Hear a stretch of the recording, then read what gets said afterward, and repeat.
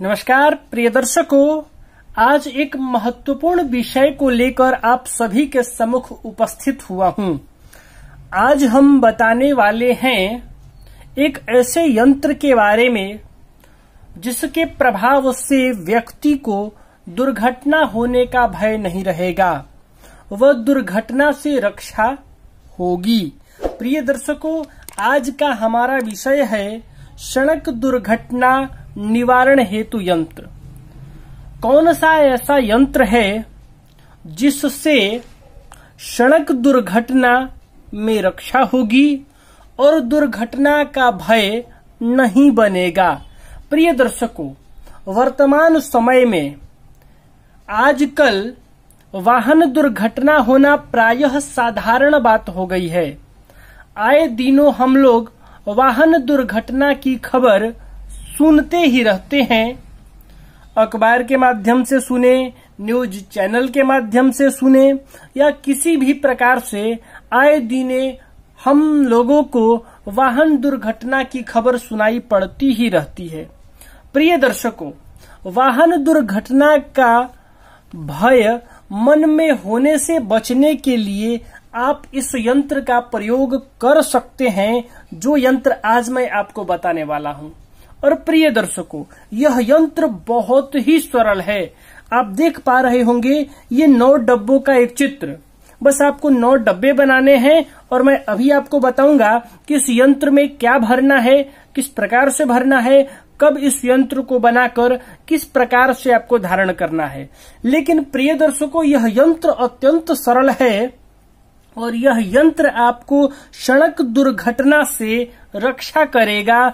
सड़क पर होने वाली दुर्घटनाओं से आपकी रक्षा करेगा और मन में भय नहीं उत्पन्न होने देगा दुर्घटना का। लेकिन प्रिय दर्शकों, आपको यह सदैव ध्यान रहे कि यह यंत्र आपकी रक्षा हेतु तो है। इसका मतलब यह नहीं कि आप किसी भी तरह से वाहन चलाएँ। सावधानी और नियमों को ताक पर रख नहीं सकते आप। आपको यह याद रहना चाहिए कि सावधानी सबसे पहले ज़रूरी है। प्रिय दर्शकों, यह यंत्र आपकी अवश्य रक्षा करेगा। आपके मन में दुर्घटना आदि का भय नहीं बनने देगा, लेकिन आपको सावधानी बहुत ज़रूरी है। कहते हैं ना, सावधानी हटी, दुर्घटना घटी। तो प्रिय दर्शकों, सावधानी सर्वप्रथम है और यातायात नियमों का पालन करना बहुत ज़रूरी है। आपको यह ध्यान रखना चाहिए और ध्यान रखना है, आप इस यंत्र को धारण करिए, लेकिन आपको यह ध्यान रखना है कि सावधानी नहीं हटनी चाहिए और यातायात नियमों का पूर्ण रूप से पालन करें। प्रिय दर्शकों, आइए अब बात करते हैं इस यंत्र के निर्माण की। प्रिय दर्शकों, इस यंत्र को रवि पुख्य या गुरु पुख्य नक्षत्र में भोजपत्र पर अष्टगंध की स्याही से अनार की कलम से बनाना है। प्रिय दर्शकों भोजपत्र पर अनार की कलम ले लेना है। हालाँकि मैं आप सभी को बता रहा हूँ, इसलिए अनार का कलम नहीं है। लेकिन मैं जो यंत्र बनाता हूँ और जो प्राण प्रतिष्ठित करके देता हूँ, वह यंत्र भोजपत्र पर बनता है और अष्टगंध की स्याही बनाकर दाड़िम की लकड़ी, यानी अनार की लकड़ी से बनाया जाता है। और यंत्र का निर्माण करने की विधि यही है। सर्वप्रथम आपको अनार की एक लकड़ी निकालनी है शुभ मुहूर्त में, और उसको एक कलम की तरह बना लेना है, अष्टगंध की स्याही तैयार कर लेना है, और भोजपत्र ले लेना है। आपको जितना बड़ा यंत्र बनाना हो, चाहे जितना छोटा यंत्र बनाना हो साइज़ आपके ऊपर निर्भर है। आप वह साइज़ लीजिए जिस पर आप इस यंत्र को बढ़िया से लिख सकें। अब ऐसा नहीं कि आपने भोजपत्र का साइज़ छोटा ले लिया और आप उस छोटे साइज़ में लिख ही नहीं पा रहे हैं। जिसमें आप स्पष्टता से लिख सके, उस साइज़ का भोजपत्र ले लेना है, उसमें नौ डब्बे बना लेने हैं। इस प्रकार से नौ डब्बे आपको बना लेना है और यह सभी प्रक्रिया आपको करना है रवि पुख्य या गुरु पुख्य नक्षत्र में। रविवार का दिन हो और उस दिन पुष्य नक्षत्र हो या गुरुवार का दिन हो और उस दिन पुष्य नक्षत्र हो तो आप आपको यह यंत्र बनाना है। यंत्र बनाने के लिए आपको भोजपत्र पर ये नौ डब्बे बना लेने हैं। सबसे पहले वाले डब्बे में लिखना है सात। प्रिय दर्शकों, मैंने यहाँ अंग्रेज़ी में लिख दिया। लेकिन भोजपत्र पर आप यंत्र का निर्माण करते समय यहाँ आप हिंदी के अक्षर लिखेंगे, जो हिंदी में लिखा जाता है। प्रिय दर्शकों, इसके बाद इस वाले डब्बे में लिखना है नौ।